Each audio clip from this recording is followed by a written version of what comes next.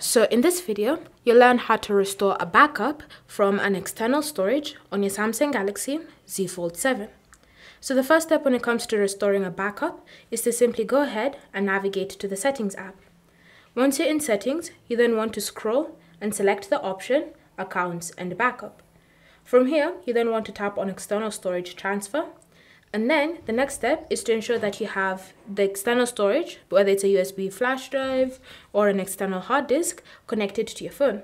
If you don't know how to connect any of these devices, then I'll leave their videos linked in the description down below so that you can follow through with that process.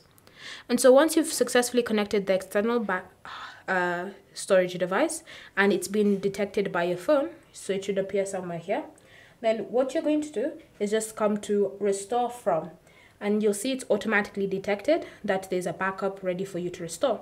So you can just go ahead and select it like that. And then you'll be prompted to turn on Wi-Fi because of the encrypted data. It's been encrypted with a Samsung account. So ensure that you also have a strong internet connection.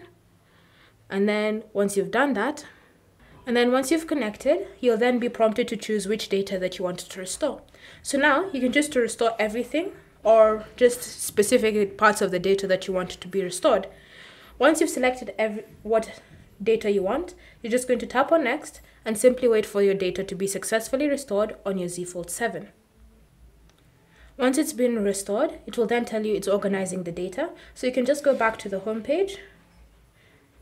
And now all the data that you had backed up previously has been successfully restored on your Samsung Galaxy Z Fold 7.